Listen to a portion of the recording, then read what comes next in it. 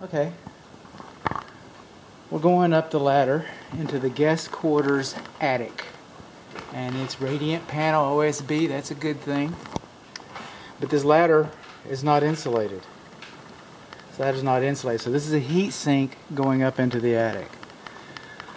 Another thing to note about this ladder is that the framing was improperly anchored with screws, sheetrock screws to be exact, instead of nails. Nails have much more shear strength.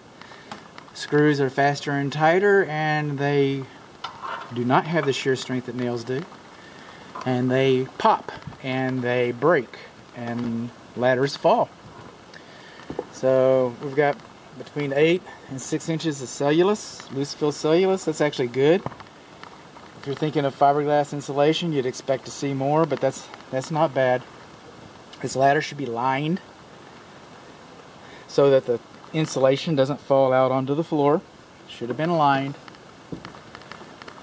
Okay, here's our exhaust vents for the attic.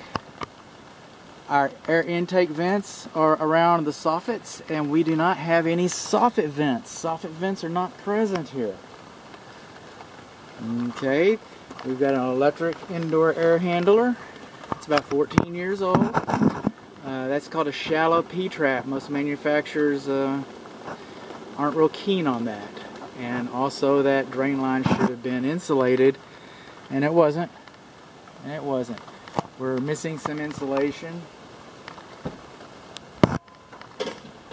over here where the air duct connects to the, the plenum. Right there. We got air leaks over there. Don't need an infrared camera for that. The is not supposed to be sagging more than half an inch. And we do not have a care and use manual. Well, we're not done yet. We're not done yet. We got one more treat up here for everybody. One more treat. There's always one. Oh, there you are. There's always one more. That right there is the exhaust vent for the bathroom exhaust and it does not go. It, it just stops right there. It just it just stops right there. Vents into the attic